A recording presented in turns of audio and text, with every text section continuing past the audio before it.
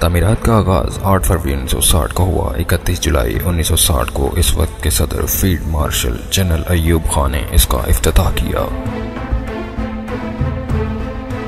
31 मई 1966 को मिजार का बुनियादी ढांचा मुकम्मल कर लिया गया। रकबा, मिजार का कुल रकबा 116 एकड़ है। मरकजी रकबा इकसठ एकड़, इतराफ के पचपन एकड़ पर मुश्तमिल है। डिज़ाइन का तस्वुर और तमीर के मराहल।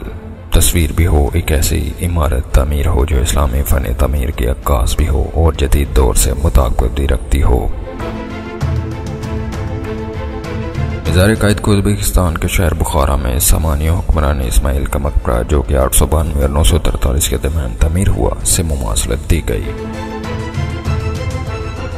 कैदम का मज़ार इस तरह तमीर किया गया कि इसमें एक तो वस्ती एशिया मालिक की झलक भी नज़र आती हो तो दूसरी तरफ़ मस्जिद करतबा के महराबों का डिज़ाइन भी नज़र आए। इमारत के ढांचे की पायलिंग जिसमें इमारत के वज़न को जेर ज़मीन कंक्रीट के सतूनों पर इस्तवार किया गया। जो कि हर किस्म के मौसमों का सामना करने की ताकत रखती है और इमारत को जल्दरा प्रूफ बनाया गया। मज़ार की मरकजी इमारत बुनियाद से मुरबा शक्ल में है, जो कि अंदरूनी तरफ़ से मसमिन शक्ल की हो जाती है।